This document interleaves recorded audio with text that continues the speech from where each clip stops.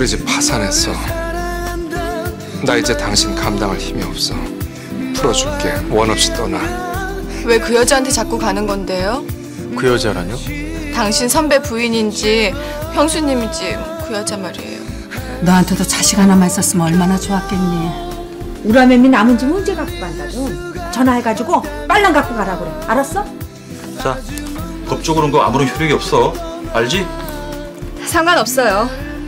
친자 관계만 알면 되는 거니까. 아빠가 엄마 앞에 김치 먹고 싶대.